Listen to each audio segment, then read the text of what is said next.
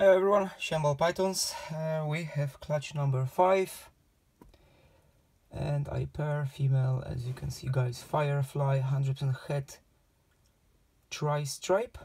With my male tri-stripe het ghost. Possibly something more. Right. The female I got from the gentleman from the Germany snake guy and uh, he didn't produce the female but he rearranged me. She's a het tri-stripe generally was uh, five eggs one unfertile.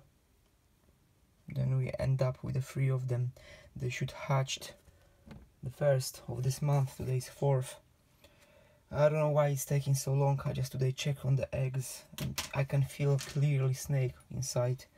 Then I decided to give it a go to have a look all this year the eggs pretty late hatching. Maybe that's because of the incubators. Maybe this is other things i don't know. Right let's go. Let's cut and see. Let's hope for the tri stripe let's hope the female proved.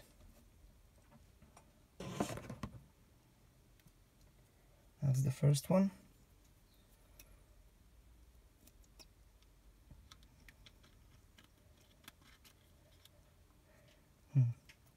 pretty excited as well with that one.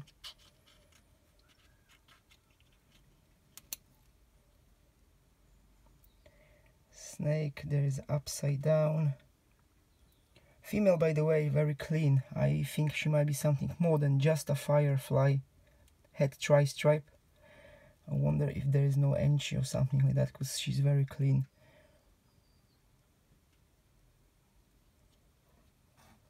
Can't see the back of this snake. Hmm.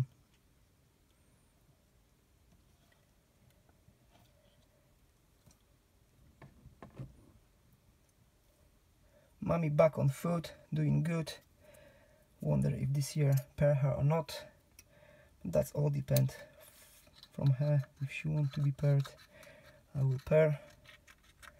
I will drop the mare to see the reaction. If she tail wagging and here we go. She proved to be a tri-stripe there is a beautiful snake. It's a tri-stripe which is gonna be I hope it's gonna be female.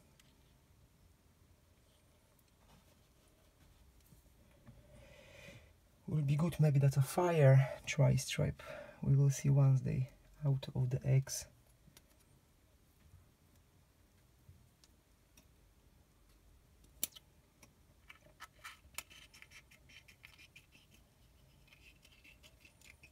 Not cutting big holes there are small ones. And there is the firefly het. 100% het tri-stripe think we have a one visual good for me. Hope it's gonna be female. She will stay. Really wonder what's that. Right guys. Mommy proved. I've got a tri-stripe for myself. Hope female. Take care everyone. Shambal Pythons